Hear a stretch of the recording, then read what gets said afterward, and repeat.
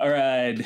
What's up, guys? Welcome to a new episode of The Oddcast. It's Oddly Entertainment's new podcast where we talk about anything, everything, nerdy, video games, comic books, or just random things we love, where we're going. Today, though, we're going to talk about some awesome comic book shows. First one is going to be The Falcon and the Winter Soldier, which is a new series on Disney Plus, and the next one is an awesome new show called Invincible. And I didn't know anything about it until this guy right here told me about it. But before we move further, let's introduce you. This is Mick Raskin. He's going to be a new member of the Oddly team, and we're just going to be pushing forward with all his expertise. So, just tell us about what are you doing. Oh, sweet. Thank you. I appreciate the introduction. Uh, my name is Mick Raskin, as you all heard. And, uh, you know, I'm a passionate audio engineer. I make music, um, but I'm also really passionate about all this type of content. Uh, I love comics, I love uh, video games. I love all that type of stuff, and especially having my own crazy ideas. So I'm really excited about you know Sean and I teaming up and kind of making more content. And I'll bring bring uh, you know forth my audio expertise and kind of help out with that. Maybe bring some cool sound design, but I'm excited. We got some cool ideas, so we're gonna Yeah. be, we're gonna be pumping out some cool stuff. So, Yeah, yeah, and we're excited to share that with you guys. And a lot more content will be coming out way faster because we're going to be working together on a oh lot yeah, of it. oh yeah, But let's just talk about uh, Falcon and the Winter Soldier. yes, yes. It was awesome. Yeah. uh, I I absolutely loved the the entire series. Like I I, know, too, yeah. yeah, You know, like we we were both talking about this because you know I have a boyfriend and and his girlfriend. We, they both kind of don't like the show as much as we did, and Yeah. they maybe felt like it was kind of boring or slow burn. But I don't know. I really I really loved it so much. It was just it really built on the characters and gave Yeah, me more. I you know I always felt like uh, Bucky and Sam were just kind of the sideline characters, and it was cool to see exactly. a bit more about that. Mhm. I won't lie though, there there was one part where it, it was one of those episodes like the second to last where it was just this long montage of them working on that boat, you know, and I was I, was- I kind of was like, come on, we get it, but I, I was really satisfied with that last episode. I mean, that felt like a movie. It felt like Yeah. watching a Captain America. like movie. everything just culminated into Yeah. him being the hero that he was actually like Yes. what Steve Rogers knew he could be. Yeah. And like going back to what you said about um how they just going back into yeah, I thought something thought happened. was- We're still good. We're still good. Going back into what you said about how they were depicted as side characters the entire Mhm. time, um, it was really cool seeing them at the forefront of this and seeing their like full capabilities. Yeah, because yeah. before you would only see each one for maybe, except for when the Winter Soldier was the main villain, you were only able to see them doing like cool things for maybe a few minutes out of the Yeah. movies yeah. but they had to share screen time. But now we have a way to like see all these side characters build out into like their own universes and just Yeah. new worlds. they definitely have a lot going Plus. on on that show of other people's stories going on too. Yeah, Uh, but it also made me think though of uh, you know with Sam, I was always really curious how he was going to pull it off and be Captain America, and to see Mhm. all, him like kind of combine everything and be this like. T- You know, he's almost like Iron Man mixed with Captain America, and Yeah. everything in one. And uh, he has that Wakanda tech now, so like that's Mhm. that's the other thing I think we should talk about too. Is the Oh yeah, like Wakanda. how Wakanda's just stepping in and feeling Yeah. like normally. You know how like there's spoiler alert just in case you have not finished the show.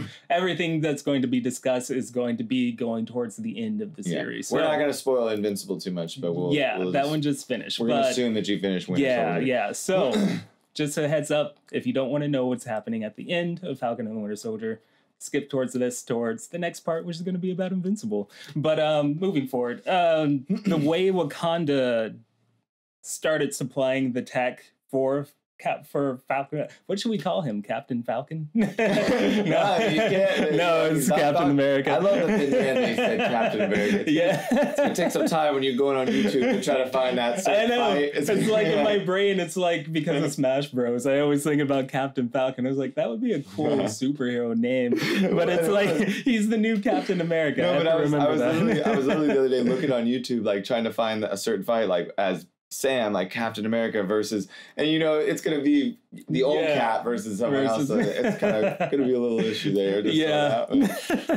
so the new Captain America. It was it was crazy to see how Wakanda's stepping in to fill that technological gap that Stark normally fills. Yeah. So like, do you think that moving forward, Wakanda is going to be the new people behind the tech and supplying like what the world needs? Yeah, I mean, uh, survive? Marvel would be crazy to pa- pass up on just giving more power to that to, to the Wakanda nation, especially in the cinematic universe. I mean, you see Black Panther. We're let's talk professionally or about the the Mhm. aspects of the profit they made from it alone. Like they really touched the black community with the Black Panther. They'd be crazy to not like dive into that further and like yeah, they that. really dive make in and the make these of- prominent characters. Yeah, and it yeah. seems like they're already doing that with um, like the steps that they are taking with uh, the new Captain America, Sam Wilson. Now Yeah. that he's Captain America, there's a lot of like, there's going to be a lot of people who don't like what Disney's doing with that. Yeah. But it happened in the comics, and it happened for a reason. It was just like, this is your new Captain America. He deserves it, Yeah. and it doesn't matter what color he is. That's like, I was going to ask you that too. You know, when I'm watching this this show and the, to hear them talk about, you know, the previous Black Captain America, who was uh, almost, you know, they were really talking about Black America and talking about race in ways that I never saw Disney do or Mhm. Marvel. You know, but I, like, how do you feel as, as someone as a black man? Like, do you feel like they're doing it correctly, or do you think that they're kind of you, you think I- that it's good? I feel like they're doing it as best they can. Yeah, like they yeah. they they handle Yeah. the touchy subjects that are happening today well. yeah, It's like they have to make sure it's good for everybody. It's explainable enough that children can understand it, but deep enough that adults will actually feel the impact of it. There's and they, they about- do that really well. I was gonna say there's something about like uh, there's some one show that's on like Prime or something, and this is a different topic, but where there's like so much. They're really it's like a horror show about uh, like racism in America, and it's like there's a lot of Oh, people who are um, complaining about it because it's they're like, dude, this is too much. I don't want to see this type Really? of stuff, and and I. I, I know I think there's a fine line that you got to play, you know. Yeah. Like, yeah, I forget what it's called, like Us or something, something like that. It was but I don't like wasn't us the one That's the that was the movie, yeah, yeah, yeah, but I bad, think this is set I think this is set in that same universe. Oh, really? Yeah. I, I remember seeing. I heard that there was something where these like racist hillbillies like you know grab a, a baby, a black baby, and they're like Mhm. beating it, and you see it all, and I'm I'm just like I Really? don't want to watch that. I mean, like I know that that stuff happened, and I'm not denying it, but. I just feel like there's there's a fine line, and I know that there's a lot of people in the black community too who are like, this is a little. It's almost Yeah, like, like you're director's just- like cashing in on this.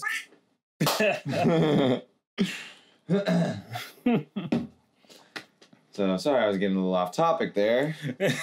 Let's uh let's talk touch base on Sharon Carter, okay? All right. Yeah. So the most surprising part of this, so a lot of people like were caught off guard about this, Yeah, yeah, and yeah, Uh, there were some people that were like, "Oh, I saw it coming."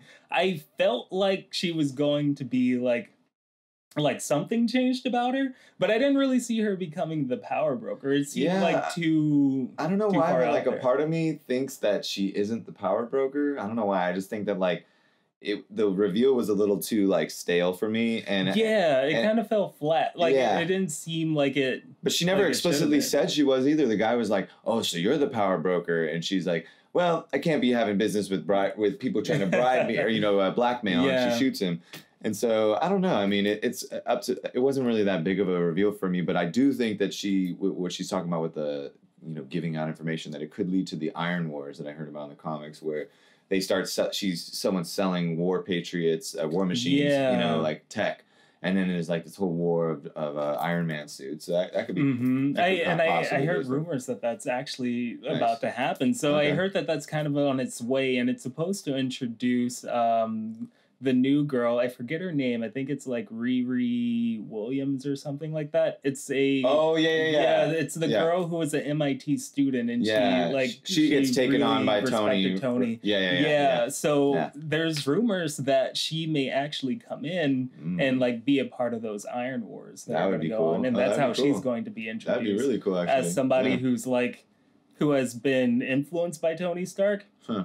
So she uses her knowledge to help like stop this threat from Oh, happening wow. using his tech. That's pretty cool. Yeah, cool. so I'm I'm hoping that they do that with her, but I Yeah. guess we'll we'll see what's going on with that. But just her being revealed as Sharon Carter, not just Sharon Carter being revealed as uh, the power broker, and along Yeah. with um, what's the woman's name who who's Elaine on Uh, Seinfeld? I forget her name. Yeah, he, he even says her. He says her. uh, Her name is uh, Ju- Julie. It's Julia, Dreyfus. Julia right? Dreyfus. Yeah. Julia- so I forget her character's name. But Yeah, I know. He says it too in the and U.S. Agent calls her that Val. Val. Val, he's like, hey yeah. Val. She's like, don't call me that. You know. Mhm. But I actually, you know, I, I, I like her character in here. Oh yeah, I like her character, but I'll be maybe the first to say I like U.S. Agent too. Like I like his character. he was such. It was like kind of like this. You know, he was like set up for failure. I mean, he was this this True, military true. war dog who the U.S. government had bred to be this like soldier, Mhm. and I and I like the fact that it like bit them in the butt that they saw that you can't. yeah, that like you just not- can't put anybody in this suit. Like the suit means something, And and, that's then also- you have one guy who just goes nuts. Yeah, but that's also to me that's like what America so, low key really represents is this like war mach- is this evil war dog and you Captain like America bred these this people to Yeah. just like do what you want them to do Yeah. until it doesn't really. but yeah. Cap- but Captain America is like the values, the American dream that we all want to be be Mhm. like. But Amer- you know, a lot of times America is just.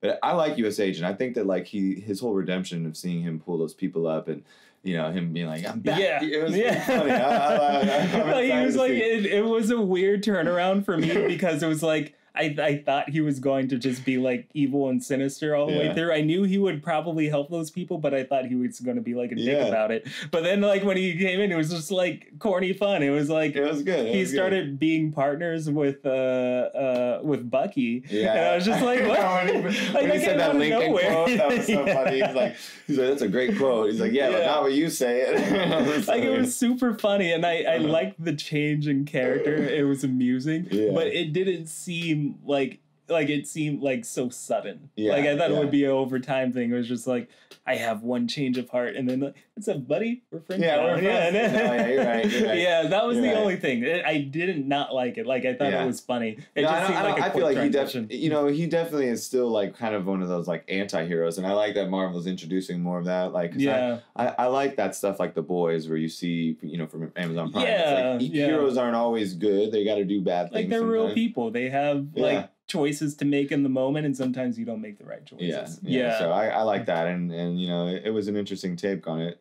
So, talking about how uh, U.S. Agent is going to be a really interesting anti-hero going up, eh, going forward with the MCU, and then how he's going to have to make difficult choices. There's this other show called Invincible where a lot of heroes have to make really difficult choices, and the way they depict all the violence and everything going on in the series is insane Yeah. because the superpowered people in that show feel so superpowered because the actual humans feel so fragile. Yeah. And because of that, the impact that they have on their world is just so much more dramatic than anything that we've seen depicted in Yeah. a lot of these new comic book shows coming Oh, out yeah. right now. So what what do you think about Invincible and just that entire series, especially the first episode? Yeah, I was about to say you can't ignore the elephant in the room, the the deta- the decapitated, eviscerated elephant. That's the violence of that show because it's crazy. I mean, it's just something I've never seen before. Yeah. And it, but it, but it's also like it's not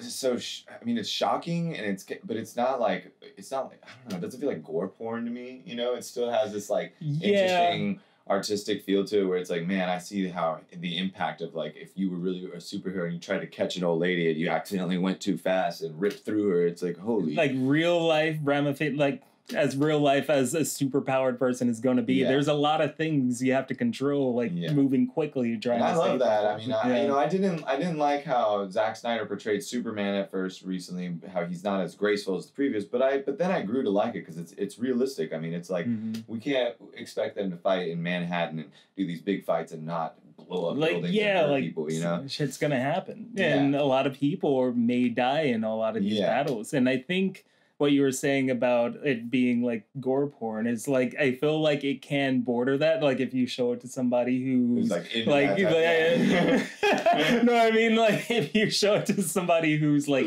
really sensitive to it, Oh, or okay. just like Yeah, they like, oh it, God, it catches a lot Yeah, of my people mom off could not watch it. My mom- Yeah, She's like every time I tell her to watch a violent movie, she's like, "Is, is there torture in it? Is there violence?" I'm like, "Mom, no." But like, you know, Like, someone's it's violent, but there's a off, and It's not, reason. it's not like you know somebody's main brain may get pinched out like a bug, but I mean, it's to show his dominance and how little he thinks about humans, and it was just like, yeah. I uh, you know, I don't want to spoil too much about it, Invincible, be- because I really think that you all should check the show out. Mm. Um, but I, I just was blown away by that first episode. I feel like it, that has the longest post credit scene I've ever seen in. in Oh my. God. It was Yeah. like it was Like, like, I thought the 15 show was over. Yeah. I was like, whoa. I was like, okay, this is gonna So, be like a thirty minute happens, show. It's really yeah. good. They really do a good, and and I feel like it also has this like fan service every episode. It gives you an extra little bit. Um, I like this the little bits where every episode the way he says the title card is like part of the sto- story. Mhm. You know, he says like. Time, and then Invincible pops up. And I don't know if you noticed, but every episode there's more blood that pops up on the title Yeah. card too. And by the Each end, time. it's like a lot of technical difficulties today, but Mm. we're pushing through. It's part of the process. That's what Yeah. makes it fun. Yeah. All right. Uh, uh, where were we? So we were talking about- Oh yeah, Invincible. Um, I wanted. I, I was really impressed by like the. I was talking about the amount of uh, like content that they give you in one episode too. It was really good. It didn't, Mhm. didn't feel like there were that many filler episodes. Sometimes like The Boys can or other shows from Amazon kind of feel that way, but yeah. I liked it. I thought it was really good. Yeah, I, like you were saying, it's just like that post credit scene that seemed like so long right after. It was just like when I first saw it and I finished it and the credits rolled for the first time. It's like, oh, it's about a 20, 25 minute show. It's like, that's what I come to expect from the new animated series. And then all of a sudden, I just get like 15 to 20 more minutes. Yeah, kind of like, wow, like that, that was super surprising. Yeah, that was, really awesome. cool. Yeah. I really hope that uh, I, I think uh, you before we started this, you were talking about possibilities of them doing a live action of this. Oh one. yeah, so I heard rumors. I don't know if it's true or not, but with the popularity of the of Invincible being where it is right now, Yeah. Amazon just pushed forward two more seasons. So we're definitely going to get a season 2 and 3 Mhm. and there were rumors that there's also talks about a, pi- a possible live action adaptation.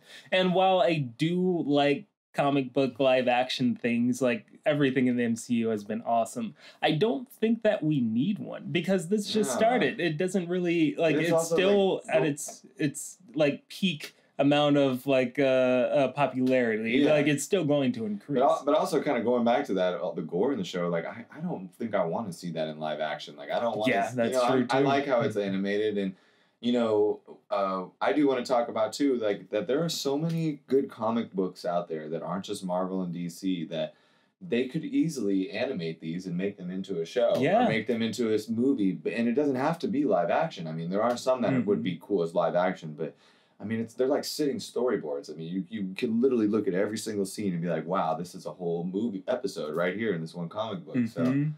Yeah, and it's just like uh, there's one uh, comic that I've been wa- reading for quite some time now. It's called Saga, and I normally wait Yeah. until each of the volumes come out, so I always get the oh, yeah, volumes yeah, instead yeah, of the the individual one. Yeah. and it's just like that story would go so well on screen, and it could be animated, and it will be really awesome. Yeah. and a, a great thing that a lot of people will want to Yeah, see. uh, recently, like about three or four years ago, I went to a comic book store. It was the first time I was like, you know, I want to buy a comic, Mhm. and I asked the guy, I was like, you know, I want to, I want to get something new. I, I, I like Marvel. He's like, well, here, you got to get this one. He gave me a Deadpool one that was a Marvel one, and I love. It was really funny. yeah, And but then he's like, you know, but if you want to try something else, you got to try this one called Saga.